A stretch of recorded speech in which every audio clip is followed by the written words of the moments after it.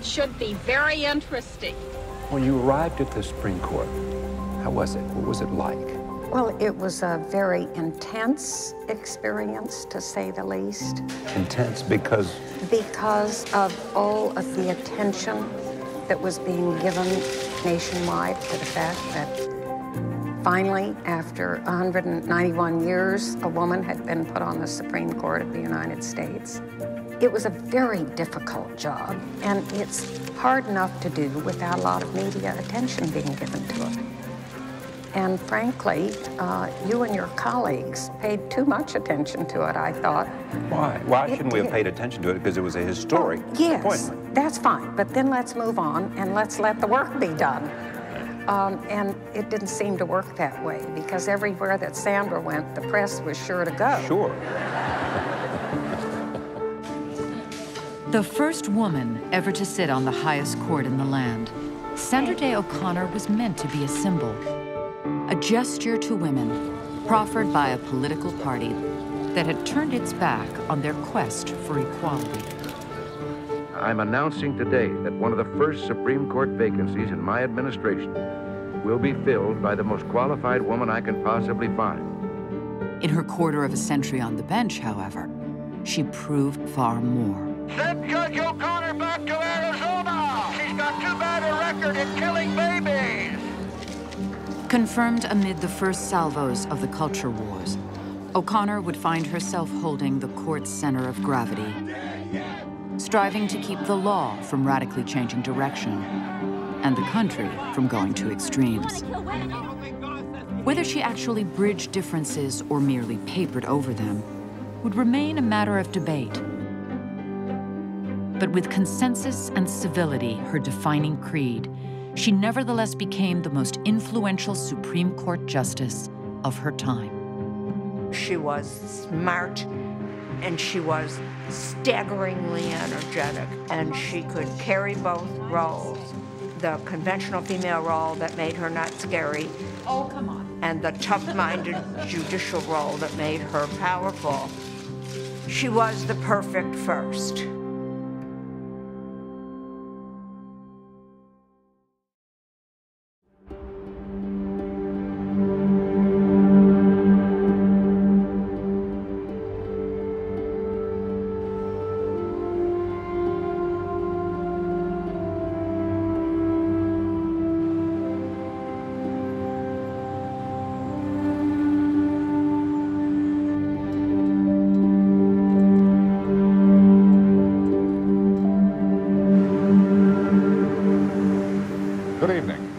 Constitutional procedure that could lead to the first woman on the Supreme Court formally began today. The Senate Judiciary Committee opened confirmation hearings on the nomination of Judge Sandra Day O'Connor.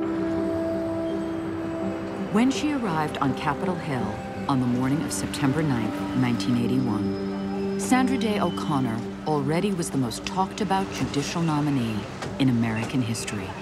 Judge O'Connor is known as a forceful, determined, no-nonsense woman who's not afraid to speak her mind. The brethren will no longer be the same, assuming she takes her place among them. For the next three days, she would also be the most watched. Are you ready? Well, I hope so. Are you nervous? No, I don't think so. Only 51 years old, she could be a power on the Supreme Court well into the 21st century.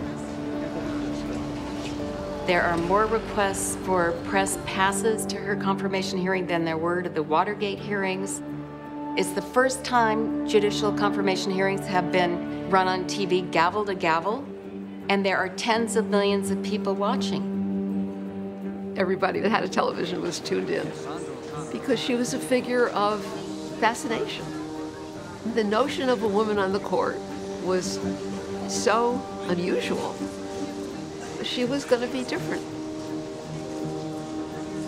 A lifelong Republican, O'Connor had been nominated to the court by President Ronald Reagan and now strode into the hearing room on the arms of party stalwarts, Senators Goldwater and Thurmond.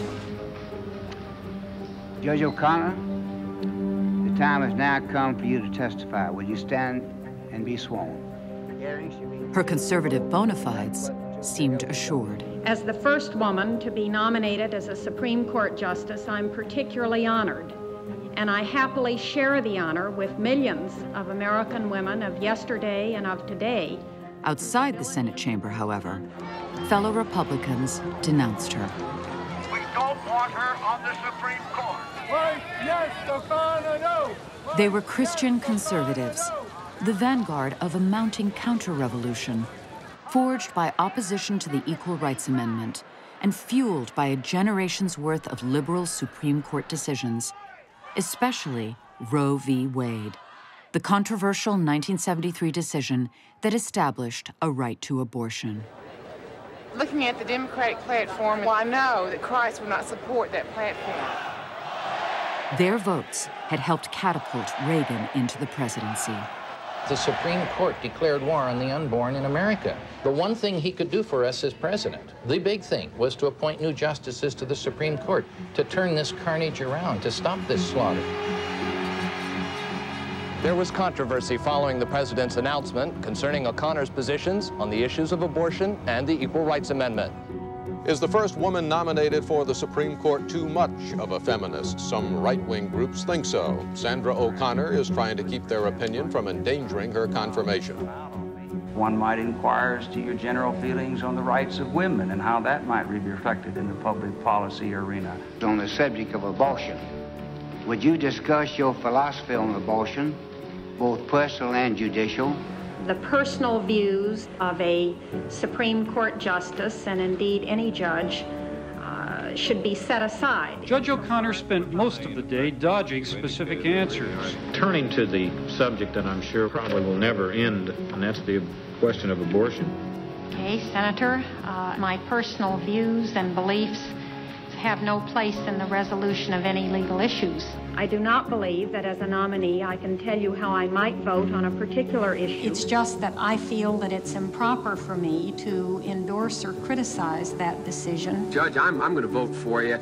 I, I think you'll make a heck of a good judge, um, but I'm a little disturbed about the reluctance to answer any questions. Um, Within the Senate chamber, O'Connor's assertion of judicial independence was a virtue. And by the hearing's third day, she was widely thought to have a lock on the confirmation. But when it came to the demonstration in the street and the growing ideological divide over American values, no one could say for certain which side she was on.